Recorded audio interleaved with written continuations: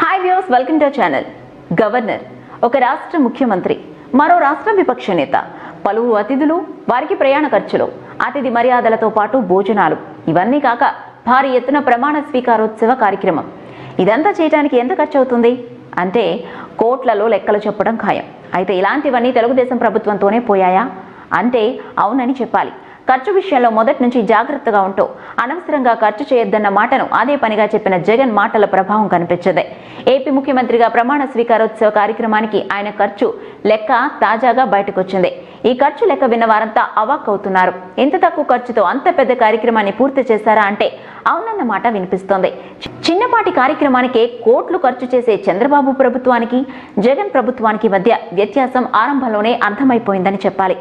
గురువారం బెజవాడలో నిర్వహించిన ఏపీ ముఖ్యమంత్రి ప్రమాణ స్వీకారోత్సవ కార్యక్రమానికి ఆయన ఖర్చు యాభై లక్షల కంటే తక్కువ కావటం విశేషం.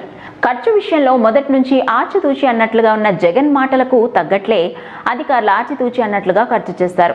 అలాని ఏర్పాట్ల విషయంలో ఎక్కడా రాజీ పడలేదు.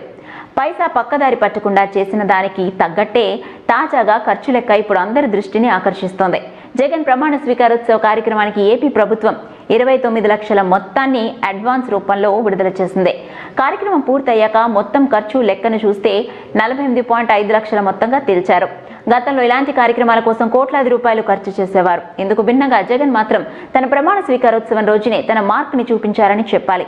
ప్రజాధనం విషయంలో తానెంత కరెక్ట్గా ఉన్నానో అనే విషయాన్ని తన తాజా ప్రమాణ స్వీకారోత్సవ ఖర్చు లెక్కతో చూపించారని చెప్పాలి.